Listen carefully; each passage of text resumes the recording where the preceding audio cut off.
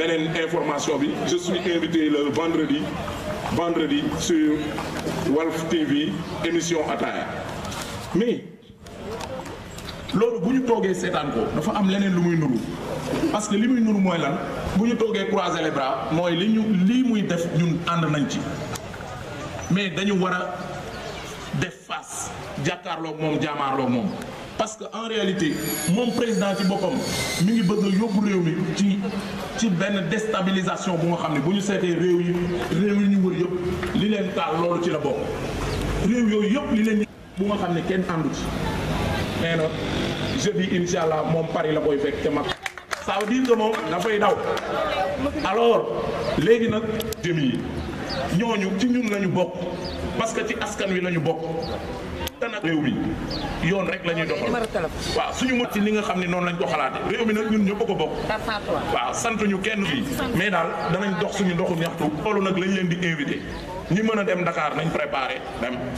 Ñi mënut a dem moo xam da ngay woote. Moo xam da ngay dem la résistance au gouvernement de Macky merci Massar. Wax bi am na solo. Xalaat bi mu am. Exposé yoo xam ne kenn ku ci nekk rek mën na ko def. Diop, le secrétaire général du Grand Parti dans la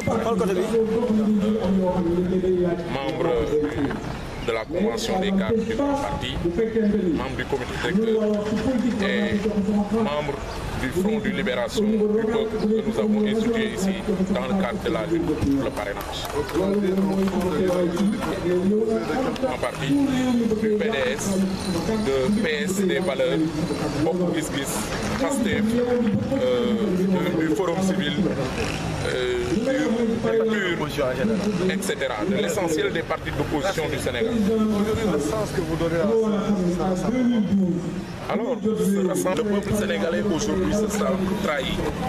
Trahi par le gouvernement sénégalais, trahi par le gouvernement de Macky Sall.